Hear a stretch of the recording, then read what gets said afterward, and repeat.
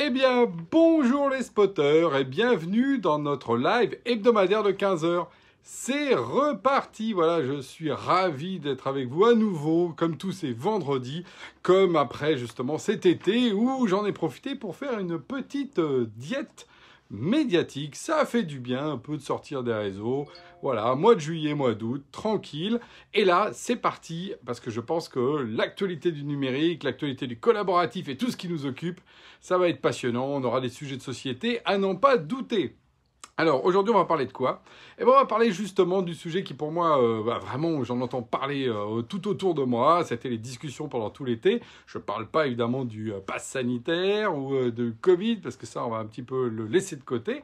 Non, je parle effectivement de la question du télétravail. Et voilà, est-ce qu'on est justement en ce moment au bureau, comme moi là aujourd'hui. Hein. je suis revenu euh, justement profiter pour voir les collègues ou travailler de chez soi, ce que j'ai pratiquement fait depuis ma rentrée. Et ça, c'est une vraie question, d'autant plus que justement, il y a un vrai changement, y compris législatif, parce que là, c'est la fin du télétravail obligatoire. Donc maintenant, les entreprises vont être face à, j'ai envie de dire, leurs responsabilités, et les, les employés également. On n'est plus dans le l'obligation, on est dans le choix. Enfin, peut-être, enfin, c'est ce qu'on va voir. Donc, on est dans le début d'une nouvelle ère de ce télétravail, évidemment avec le, digital, de ceux qui peuvent le faire. Et comment ça va évoluer? Et je pense que c'est essentiel euh, pour les, pour les mois et les années à venir, parce que c'est ce qui est en train de confirmer, en fait, un changement de civilisation. Tenez-vous bien. Alors ça, c'est pas moi qui le dis, c'est le sociologue hein, Pascal Pic. Donc, c'est hyper intéressant, parce qu'en fait, lui, il dit dans un bouquin qui s'appelle euh, justement Le télétravail et le chimpanzé, voilà, cette saison, euh, c'est qu'on est vraiment dans une nouvelle phase de l'humanité.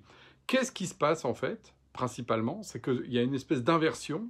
On avait construit, alors on va pas revenir au temps ancien des hommes de Cro-Magnon, hein, même euh, si on va parler des singes, on avait construit un système dans lequel les gens allaient au travail, les gens allaient à l'usine, les gens allaient au bureau, les gens allaient justement, on voit bien, et toute cette logique de transhumance, c'est le soir, ils rentraient chez eux, et là on réinverse, le travail va chez les gens. Voilà, donc une inversion. Or, comme le dit euh, Pascal Pic, elle le souligne, ben dans ces cas-là, la sélection sélectionne. Il va y avoir donc une évolution et que clairement, il va y avoir les entreprises, les organisations, les nations aussi, parce que c'est quelque chose de culturel, qui vont faire de cette évolution un avantage et d'autres qui vont effectivement en faire un problème. Et ça, c'est exactement ce qu'on est en train de vivre en ce moment. On va y revenir dans deux secondes.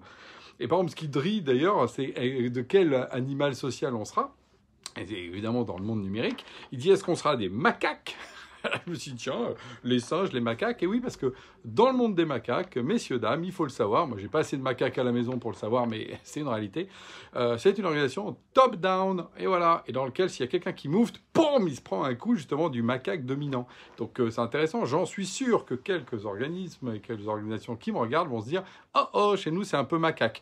À l'envers, il y a donc les chimpanzés tout se négocie, tout se discute. Alors il y a quand même euh, des dominants, mais on n'est pas dans une logique top-down, dans une logique au contraire de circulation de groupe.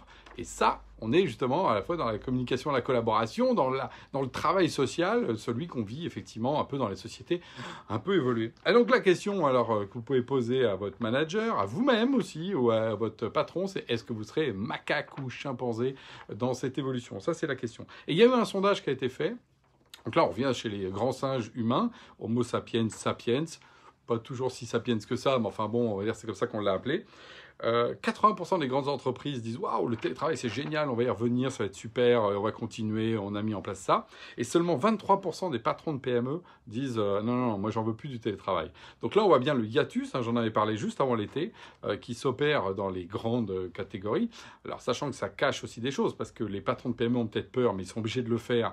Et donc finalement, la peur n'écarte pas du fait qu'ils le mettent en place. Là où des grands groupes disent non, non, mais tout va bien, puis en fait, ils rappellent leurs oies. Il suffit de voir ce qui s'est passé, par exemple, pour des boîtes comme Apple dans lequel il y a même carrément eu euh, des, mouvements de protestation, euh, parce qu'en fait, Apple est revenu en arrière sur une position par rapport à ça. Donc on voit bien que les grandes entreprises ont aussi beaucoup une meilleure capacité de communiquer, que les patrons de PME sont un peu dans l'émotion et disent Ah non, moi ça me fait peur.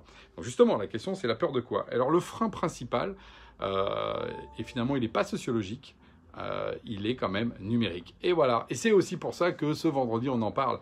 Parce que le problème principal, en particulier des PME, des ETI et finalement des entreprises de taille intermédiaire, c'est d'avoir l'impression de ne pas être assez euh, j'ai envie de dire, appuyé par des, solutions pour justement gérer quoi?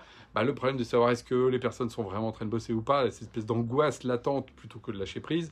Pouvoir communiquer à ses ouailles, donc là c'est toute la question centrale de l'intranet. Pouvoir gérer des réunions un petit peu complexes avec des gens qui sont ici, des gens qui ne sont pas là. Et ça, c'est la question du travail hybride et donc des outils collaboratifs. On est au cœur, effectivement, de, des sujets, vous savez, moi, qui m'animent et qui font que je réfléchis autour de ce numérique. Et c'est vrai qu'aujourd'hui, en France en particulier, les PME, les ETI sont sous-équipés par rapport aux grands comptes. Et donc, ça explique aussi cette angoisse. Il y a une angoisse qui est une angoisse sociologique, qui est celle de tout le monde, parce que changement égale grande peur, hein, voilà, ça c'est humain, euh, enfin ou chimpanzé ou macaque, je ne sais pas de quel singe on parle, mais par contre, euh, il y a aussi la dimension euh, de s'équiper. Donc voilà, ça va être. Euh, je vous donne rendez-vous donc à réfléchir avec vous-même pour savoir quel singe vous voulez être et de quel équipement vous voulez être pour être un singe, un chimpanzé ou un macaque, parce que c'est clairement la question qui va nous être posée de manière un peu générale. Je trouve que c'était sympa de démarrer avec de l'écologie en cette rentrée. Sur ce, je vous donne rendez-vous à la semaine prochaine.